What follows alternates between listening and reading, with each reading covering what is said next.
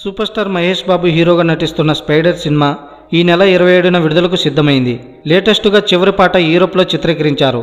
మరోవైపు జోరుగా post productions పనులు జరుపుకుంటున్న ఈ సినిమాను క్రేజీ దర్శకుడు మురుగదాస్ ఎక్కడా రాజీ పడకుండా తెరకెక్కిస్తున్నారు. ఇప్పటికే తెలుగు తమిళ భాషల్లో విడుదలవుతున్న ఈ సినిమాపై అంచనాలు భారీగా పెరిగిపోయాయి. మరోవైపు బిజినెస్ వర్గాల్లో కూడా సంచలనం రేపుతున్న ఈ సినిమా ఓవర్ కాన్ఫిడెంట్ అందరినీ టెన్షన్ పెడుతుంది. ఇప్పటికే అటు ఆంధ్ర సీడెడ్ నైజాంలో భారీ రేటుకు విడుదల హక్కులను సొంతం చేసుకున్నారు. బాహుబలి తర్వాత అంత భారీ రేటుకు తీసుకున్న సినిమా ఇదే.